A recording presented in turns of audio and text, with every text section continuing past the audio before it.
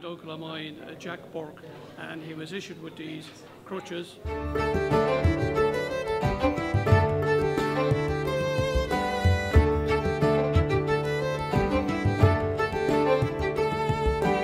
My name is Gerry Devlin.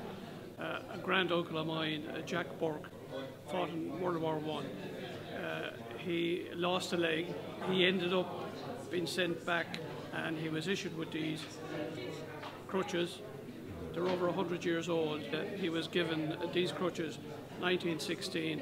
I have them in my attic, and I have his history in my attic.